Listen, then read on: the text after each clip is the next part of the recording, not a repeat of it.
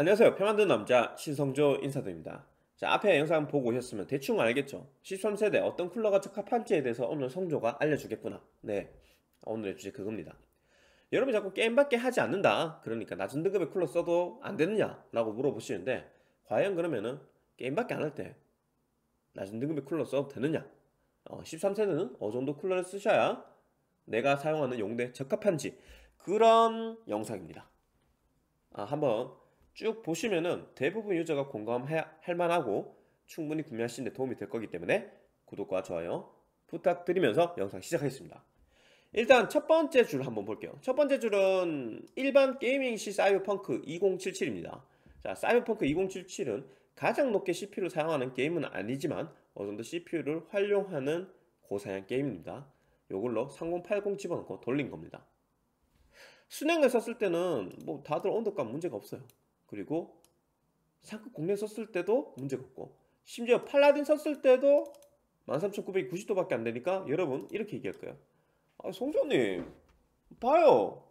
게임밖에 안 하니까 온도 얼마 안 되잖아요. 그냥 써도 되네요. 클럭 떨어지는 한도도 없고 여기서 제일 온도 높은 놈이 90도인데 이건 또 맥시멈 90도니까 평소에 쓸 때는 80몇 도 어, 그냥 쓸 수 있는 거 아니에요? 라고 하실 텐데 아 천만의 말씀 아, 왜 그렇게 얘기하냐면요 여러분 게임만 한다는 게 가능할 거라고 생각합니까? 여러분 게임 하실 때 어떻게 해야 돼요? 게임 다운로드 설치 아니면 게임 패치 어, 게임 플레이 중에 백그라운드에 그러니까 뒤에 빠져있는 안 보이는 부분에 백신 들어갈 수도 있고 아니면 윈도우 업데이트를 할 수도 있고요 진짜 게임밖에 안 하는 게 너무 어려워요 아니 게임 하면서 뭐 딴 거를 어, 추가 게임을 띄워놓거나 아니면 게임 하면서 뭐 내가 옆에 디스코드를 키거나 뭐 이런, 이런 거 얘기한 게 아니에요 그냥 게임밖에 안 하는데 백그라운드에 뭔가 돌아가게 되어 있다고요. 특히 윈도우 패치는요 막을 방법도 딱히 없고요. 그럼 다운로드를 하면서 설치를 하게 돼 있거든요. 어, 스팀을 한다고 했을 때는 스팀 자동 업데이트가 돼 있죠. 어, 다른 게임 패치를 하면서 게임을 하게 돼 있어요. 물론 설정사에서 끄는 방법도 있지만 보통은 그냥 일반적으로 아무 생각 없이 쓴단 말이에요. 그런 조건이라면은 이 첫 번째 줄이 아니라 두 번째 줄이 돼요. 일단 준비된 영상 짧게 보여드릴게요. 제가 생략하고 안 보여준 순수 게임만 돌렸을 때 어, 상황입니다. 자 이건데요. 이건 뭐 80W밖에 안 쓰고 어, 높게 써봤자 90 얼마 쓸거 그리고 CPU가 40% 30% 이거는 어떤 환경이냐면요. 우리가 벤치할 때 쓰는 환경이에요.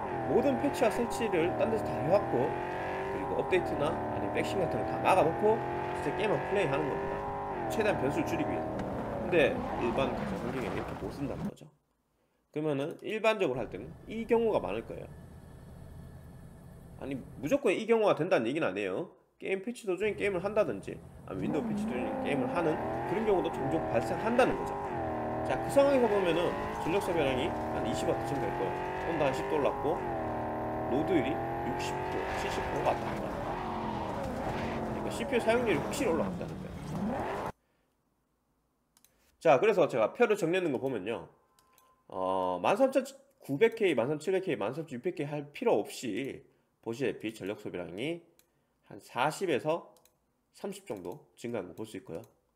온도도 72에서 81, 70에서 77, 53에서 63 정도로 10도 정도 더 추가되는 걸 볼 수 있습니다. 보통 여러분 구매하신다면은 이 구간을 생각하고 구매를 해야 된다는 거예요 일부러 딴 데서 다 패치하고 들고 오는 게 아니니까요 맞죠? 이 구간 생각하고 사, 산다고 쳤을 때는 일단 순행은 게임할 때 아무 문제 없습니다. 물론 이게 또 크라켄 X73 최상급 순행이기 때문에 2열 순행을 쓴다든지 아니면 뭐 저렴한 뭐 DX 시리즈 이런 거 있잖아요. 싼 거 막 쓰면은 이거보다는 성능이 다소 떨어지기 때문에 온도가 더 높게 나올 것 같긴 하지만 여러분 어쨌든 3열 순행을 쓴다 그랬을 때는 13900, 13700, 13600 다 게임 하는 데는 문제가 없는 겁니다. 자 옆에 거 한번 볼게요. 그럼 상급 공랭은요? 어 상급 공랭은 문제가 돼 보이는 거는 13,900밖에 없습니다. 나머지는 최대 온도가 80도 70도니까 문제가 될 게 없어요. 근데 얘는 95도니까 문제가 될 수 있죠. 100도부터 성능이 떨어집니다. 어, 기본 설정이 그렇게 적혀 있어요.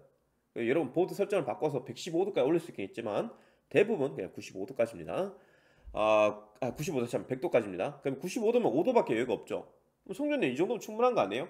아 밑에 한번 보십시오. 제가 해당 테스트는 오픈 테스트라 그랬죠. 어, 공간이 매우 넓은 거실에서 어, 충분한 온도를 유지하기 위한 약간의 환기를 유지하면서 제가 케이스 없이 쓴 거예요. 케이스가 있으면 실제로는 한 2도에서 5도 정도 더 올라갑니다. 심지어 쿨링 안 좋은 케이스 쓰면 한 10도 올라갈 수도 있어요. 뭐 H500 시리즈라든지 아니면 one fan밖에 없는 앞이 꽉 막힌 어, 그런 케이스 쓴다든지 어, 그러면 여러분한테는 다소 요 결과값보다 높은 온도가 보일 수밖에 없어요. 아, 성조님 그러면 성조님도 케이스에 넣고 돌리시지 왜 그러셨어요? 아, 그거 케이스 안에 넣으면은 여러분 쓰는 케이스가 뭔지 모르니까 좀 더 이제 여러분 쓰는 거에 가까운 값이 나온다라고 생각하실지 모르지만 그렇지는 않습니다. 사실 쿨링 정말 좋은 케이스 쓰시면은 이 오픈 테스트하고 별 차이가 없어요. 쿨링 좀 조금 괜찮은 막 DLX 1이라든지 보통 뭐 디파인 7 아니면 뭐 L600 이런 것만 써도 요거랑 한 2도 3도밖에 차이 안 나요.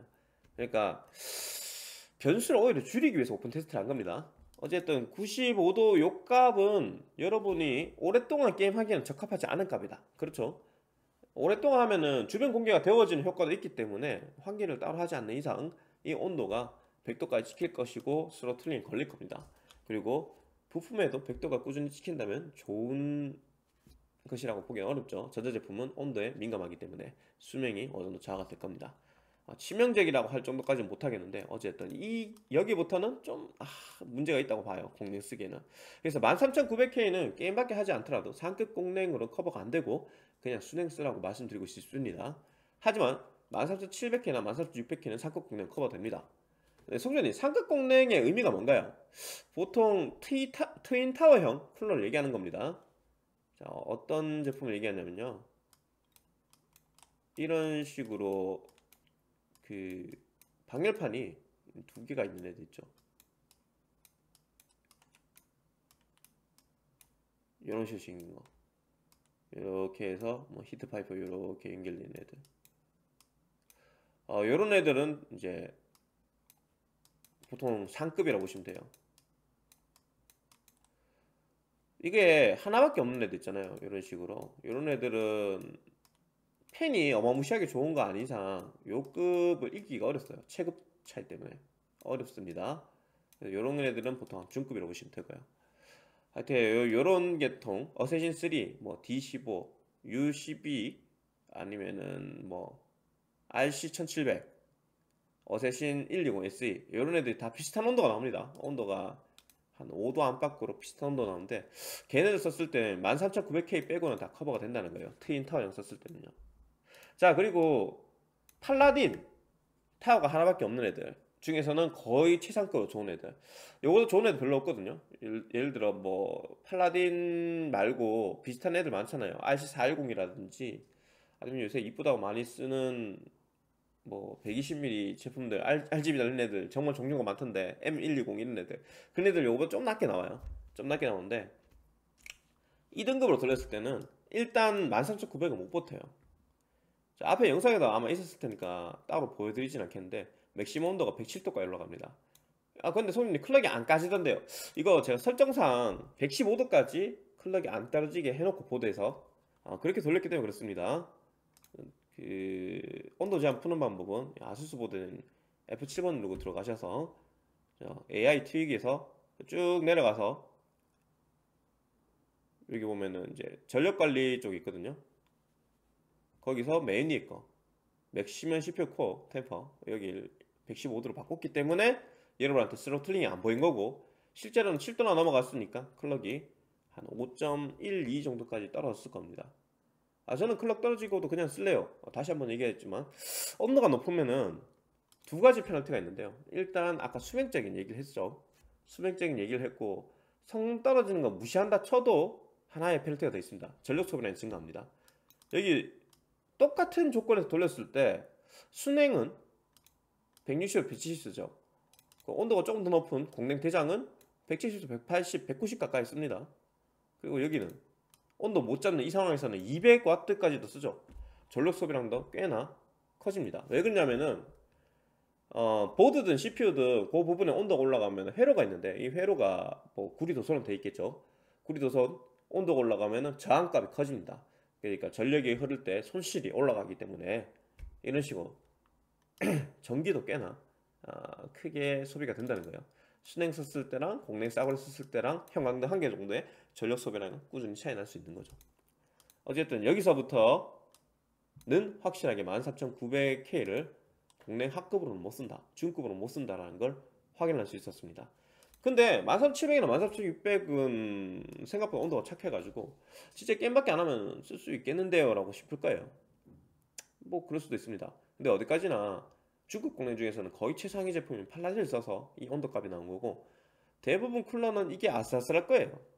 팔라딘이 그래도 200W급의 TDP를 가지고 있기 때문에 i7을 아슬아슬하게 버틴 거지. 그거 이제 오픈 테스트였기 때문에 이게 오픈 테스트 아니면 버티기 힘들 겁니다 성조님 그리고 보니까 i7하고 i5 지금 대장급 썼는 거랑 아니 뭐 이거 공랭 상급 썼는 거랑 그러니까 공랭 중급 썼는 거랑 별 차이가 없는데요? 트윈타워랑 싱글타워랑 별 차이가 없는데요? 이렇게 얘기하실 텐데 실질적으로 팬의 RPM을 크게 올려놓은 제품들은 이게 지금 얘나 얘나 RPM 비슷하죠? 그런 애들은 어, 자기 TDP를 벗어나지 않는 이상 TDP 이하의 제품의 CPU를 쓸 때는 비슷한 온도를 보여줘요. 그러니까 뭐 리뷰만 하면은 그래요. i5, i7 그 아니면은 구형 CPU들 들고 와서 리뷰 떡 하고 난데 하는 말이 아 이거 뭐 대장급이랑 맞먹는 혹은 최상급 공랭 쿨러 수냉 쿨러에 인접한 그런 저렴한 공랭 쿨러가 나왔다라고 광고를 많이 하거든요. 근데 그거는 이 낮은 등급의 TDP를 썼는 애들 어, 낮은 등급의 TDP를 보이는 CPU를 썼기 때문에 그런 거고 실제는 여기서 차이 나죠. 어디서 차이 납니까? 13900K 있었을 때 한번 보세요 그러니까 자기의 버틸 수 있는 얘가 200까지 버틸 수 있다고 했는데 그 전력 소비량에 가까운 제품 쓰니까 어떻게 돼요? 얘 온도 못 잡죠. 못 잡습니다. 얘 110도고 이거는 95도예요. 무려 15도, 12도 차이 나죠. 12도. 그러니까 이 아주 큰 빅한 사이즈의 쿨러의 장점을 보려면은 상급 CPU를 써야지 얘가 확실히 온도를 더 잘 잡는다는 걸볼수 있는 거예요. 낮은 등급 그리고 전력 소비량이 비교적 낮은 이 상황에서는 잘 못 느끼는 거죠. 이건 밑에서도 확인하여 볼수 있습니다. 13600인데도 온도 차이를 볼 수 있죠. 왜? 13600을 작업 용도로 하니까 전력 소비량이 증가해서요. 그러니까 고작 뭐 100, 100 초반 써가지고는 요 쿨러의 등급 차이를 볼 수는 없습니다. 그러니까 여러분 함정이 자주 걸리는 거야. 뭐 리뷰 볼 때마다 새로운 제품이 늘 좋다고 하는 것처럼 보이잖아. 그냥 RPM 높은 펜 박으면은 싱글 타워도 i5 같은 거 쓸 때는 저 위에 뭐 비싼 애들 막 10만짜리하고 별 차이 없어 보여요.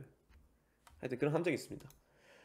자 그렇기 때문에 여러분한테 이렇게 얘기를 해요. 저는 이제 게임밖에 안 하더라도 i9은 요 결격감만 봐도 어, 순행 쓰는 게 좋을 것 같고 그리고 i7 같은 경우에는 상급 공랭 쿨러 쓰시면 커버된다.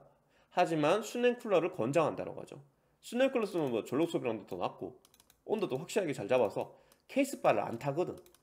수냉쿨러 박을 수 있는 케이스, 3열 충분히 상단에서 배기할 수 있는 케이스는 대부분 거기에 기본 팬 품질이 구리거나 아니면 주변 온도가 좀 높은 상황에서도 온도를 커버 쳐줄 수 있을 거라고 기대하기 때문에.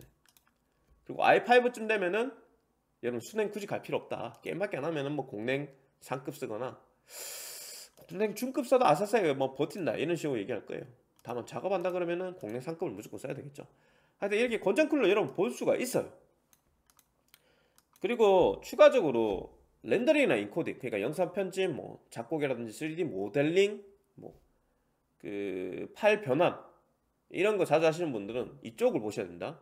이쪽을 보시면 되는데 일단 i9은 100도를 찍어요. 3년 수냉서도 100도 찍습니다. 그럼 성준 이거 안 좋은 거 아니에요? 안 좋은데 뭐 어떡하겠어? 3년 수냉 최상급이 그나마 온도를 잡을 수 있는 방법인데 가능하면 언더볼팅을 하서 쓰거나 아, 못한다 치면은 어쩔 수 없이 최상급 그 일체형 순행 3열로 가시는 거 권장드리는 제품이에요. 14,900은. 어쩔 수 없어요. 좋은 보드 쓰는 것도 한 가지 방법이에요. 좋은 보드 쓰면 기본 전압이 내려갑니다. 전력 소비량이 줄어들고 그러면 이제 케이스 쿨링이 좀 좋고 3년 순행 진짜 최상급 쓰면은 아마 100도까지 안 찍힐 거예요. 90도 초중반 나옵니다 네가 어떻게 알아? 조립을 해봤으니까요. 그 방법밖에 없습니다. 그래야 이제 작업을 원활하게 할 수 있을 거고요. 13700K도 순행을 써야 되겠죠 94도니까 13600은 순행 굳이 안 써도 돼요 공랭 대장급 쓰시면 됩니다 그리고 음...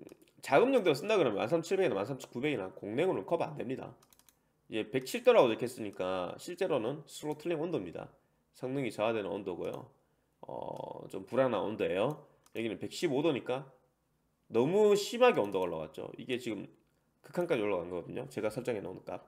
얘는 클럭이 많이 떨어질 겁니다. 10% 정도 이상 성능차가 생길 수 있습니다. 그래서 13900은 작업한다면 상급 공랭 아예 보지도 말아야 되고 13700도 안 쓰는 게 좋습니다. 당연히 하급 공랭은 커버가 안 되겠죠. 작업한다 치면은 셋다가 아니라 13900, 13700까지는 3열 수랭을 써야 되고 13600만 공랭이 가능하다. 정도 보면 될까요. 마지막은 이제 프라임 돌린 건데 이거는 아예 영상도 뭐 여러분들 보여드리지 않았는데 어 저거는 어떤 경우냐면요. 여러분이 bench tool을 돌릴 때 기준입니다. bench tool. 그러니까 overclock하고 오버를 확인할 때 기준. 그러니까 평소에 볼 일이 없어요. 아니면은 뭐 특정 여러분이 쓰지 않는 연구실에 쓰는 프로그램이 AVX 1, 2 완전히 다 갈구면서 돌릴 때. 그럴 때나 이 정도 온도가 나오기 때문에 여러분 볼 필요가 없는 겁니다. 볼 필요 없는 거고. 이럴 때는 이 정도 값이 나온다 라고 생각하면 되겠네요. 그냥 넘어가도 됩니다 이거는. 그리고 서블 그리스에 대해서 말씀드릴 게 있는데 제가 최상급 서블 그리스와 뭐 1, 2도 밖에 차이 안 나는 상급 서블 그리스를 이용해서 이 순행을 돌렸고요 그리고 나머지 두 개 쿨러는 기본 포함 서멀로 썼습니다. 왜 그렇게 했냐면은 크라켄은 있잖아요. 서멀이 기본적으로 동봉이 안 돼 있습니다. 1회용으로 발려있고 어, 물건이 없기 때문에 어쩔 수 없이 얘는 똑같은 서멀로 어, 닦아서 지우고 하나하나 테스트 했고요. 요 같은 경우는 얘네들 기본 서멀을 이용해서 테스트 했다 보면 됩니다. 어, 최대한 여러분이 직접 샀을 때 그 느낌으로 한번 준비를 했다 생각하면 돼요. 오픈 테스트 했는 게 좀 아쉽겠지만 케이스는 어떤 거 사실지 모르니까 어쩔 수 없이 그렇게 테스트 했다 보시면 되고요 실내 온도는 25.5도, 26도 사이 정도에서 테스트를 했습니다. 그나마 여기에서는 온도가 좀 낮아져서 제가 24도쯤에서 테스트를 했는데 그래도 얘는 답이 없는 게 보이죠.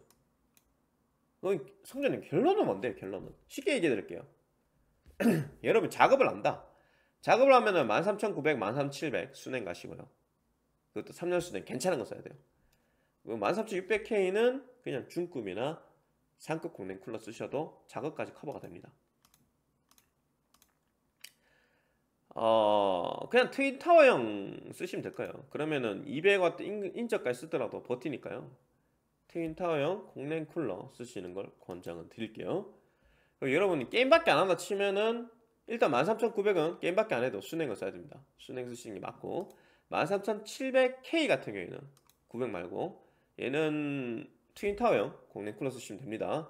그냥도 쓰면 안 되나요? 하는데 얘는 조건에 따라서 여기서 전력 소비량 조금만 더 증가하면은 여러분 보드 좀 안 좋은 거 쓰면 못 버팁니다. 이가 그걸 어떻게 한대요? 제가 박격포 B660에 돌려보니까 못 버텼어요. 걔는 90도 그냥 후방까지 나왔거든요. 인케이스에 박격포로 돌리니까. 어... 여러분 뭐 가성비 찾는다고 B660 좀 저렴한 보드 게임X 박격포에다가 그 팔라딘 집어넣고 13700K 쓰면 게임에도 제대로 안 들어갑니다.